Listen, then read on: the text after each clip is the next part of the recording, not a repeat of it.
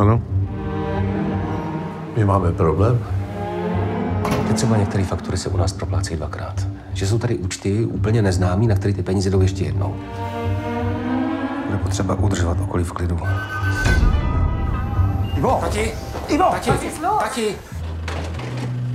Kolik? 14.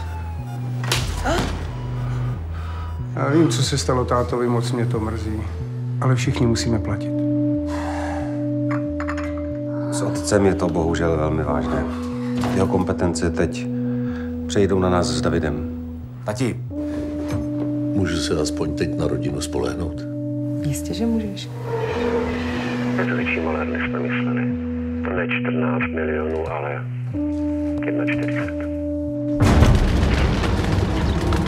Tak vás nenapadlo, že by to mohlo být ještě jinak? Já nevím, zatím třeba někdo je? Dokážeš ty vůbec pochopit, že jsou na světě věci, které se tě vůbec netýkají? to je táty. Slyšela jsem, že jsi v nemocnici, jsi v pořádku?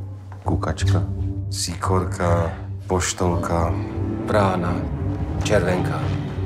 Prosím tě, vždyť ten tvůj adresář, to je normálně ornitologická stanice. Jak to je s těma ženskýma, tati? Někdo zatím musí být. Někdo, kdo se mě chce pomstit.